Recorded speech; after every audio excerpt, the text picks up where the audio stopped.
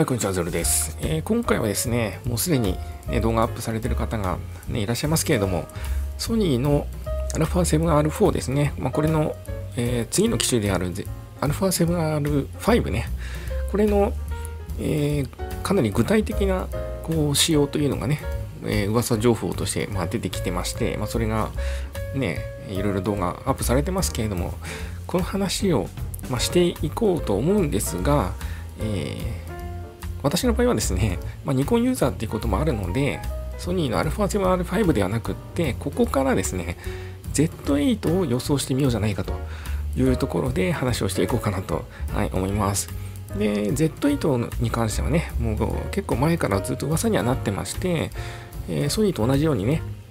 えー、同じ6100万画素ぐらい、まあ、6000万画素ぐらいのセンサーを積んでくるんじゃないかと。でしかもソニーセンサーじゃないかって噂まで出た時もありましたよね。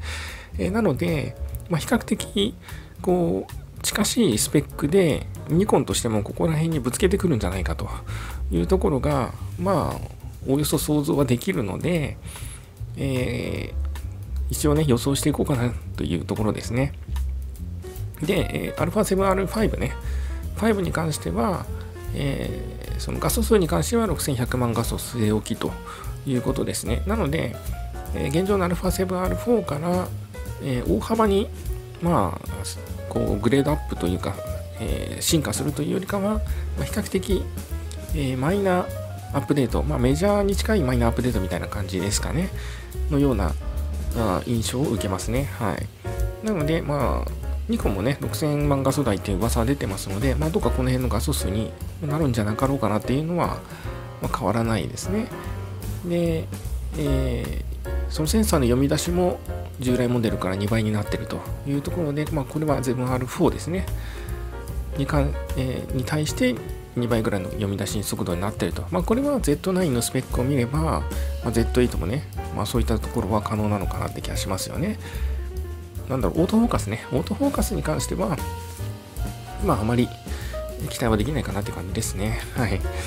えー、相変わらず、ね、今のソニーじゃないや、えニコンのオートフォーカスのシステムっていうのはね、ハイブリッド AF なので、まあ、ここに関してはおそらく変わらないだろうと。ただ、まあ、7R5 に関しては、えーと、従来の瞳 AF にプラスして、えー、鳥の瞳 AF ですね。まあ、これも、え追加になってるので、えー、まあ、ニコンの Z8 も、まあ、この辺はね、普通に搭載してくるんではなかろうかと、まあ、思われますね。まあ、てか搭載してほしいな。はい。私の場合、野鳥もやっぱり撮影したりするんでね、まあ、ついてほしいなってところありますよね。で、えー、7R5 の方は、えっ、と、低振動高耐久性シャッターって書いてあるので、えっ、と、メカシャッターは搭載するということですね。で、Z8 の場合はですね、おそらくですね、もう、このメカシャッターに関しては搭載しないんじゃなかろうかと私は勝手に予想してるんですがどうなんでしょうかねまあ Z9 でねもうメカシャッターレスっていうのがもうもうねえー、フラッグシップとして出てきましたんで、まあ、これから出るものはメカシャッターレスで、まあ、いいんじゃないかなと思いますけどね、もうね。てかもう絶対ともメカシャッターレスで出す方が逆に、えー、こう 7R5 とね、まあ、もし近しいスペックで出すんであれば、差別化ができて、まあ、一つ売りになるんじゃないかなって気しますよね。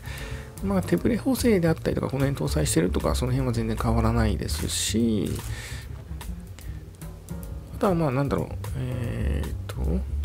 電子ビューファインダーが944万ドットに、えー、なると、7R5 ね。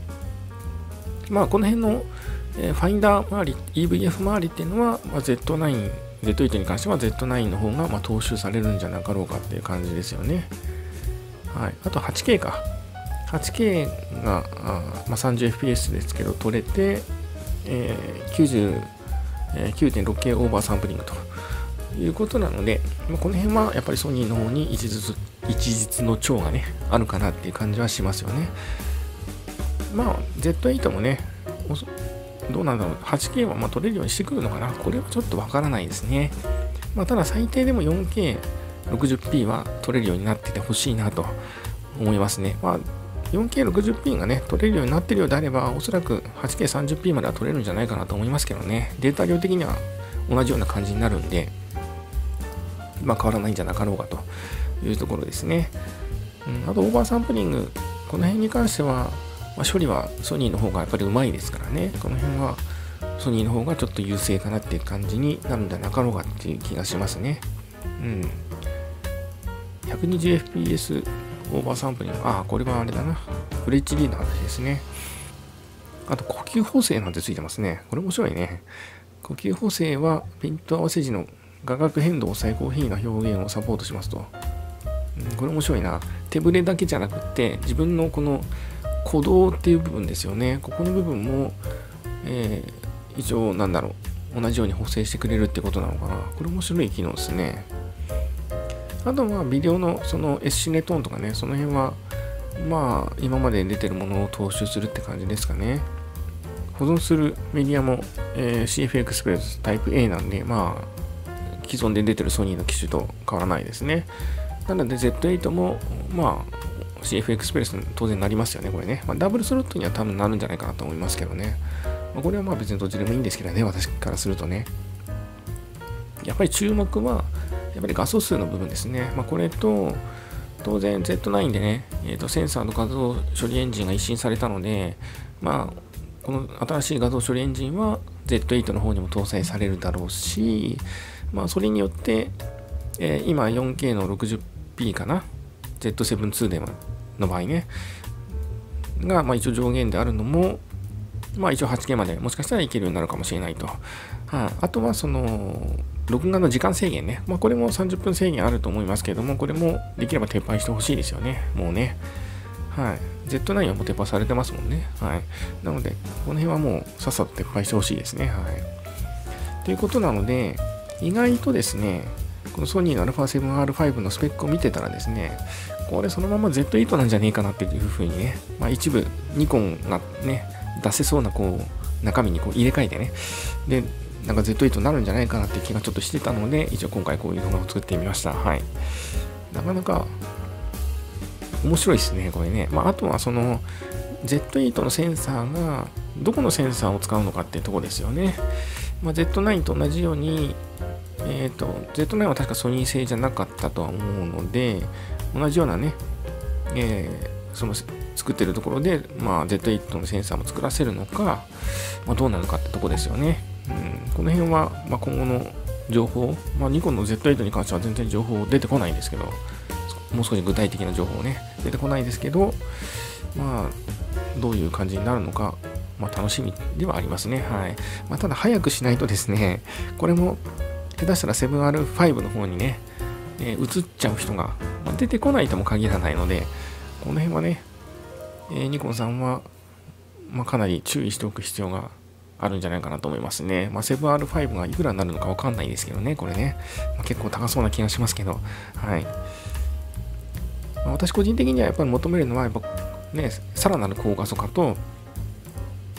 今ね、Z9 も含めて4300万画素、4200万画素か、この辺が上限になっているので、まあ、これを上回る画素数と、えー、まあ、鳥の瞳 F ですね、まあ、これがついてほしいところと、あとシャッターレスかな。シャッターは別に私も、えっ、ー、と、サイレント撮影しかしてないので、まあ、あろうがなかろうが関係ないんですけど、もういらないですよね、シャッターね。はい。あとは、えっ、ー、8K か。えー、4K60p がフルサイズで撮りたいので、フルサイズ、こうなんとかな、APS-C での 4K60p ではなくて、まあ、フルサイズで普通に 4K60p が撮れるようになってほしいなっていうところがあるので、まあ、この辺が実現してくれれば、あもう十分かなっていう感じしますね。はい。ということで、今回の動画は α7R5 から、ま Z8 を想像してみようじゃないかという動画でございました。はい。えー、今回の動画はこんな感じで終わろうかなと思います。はい。また次の動画でお会いいたしましょう。ありがとうございました。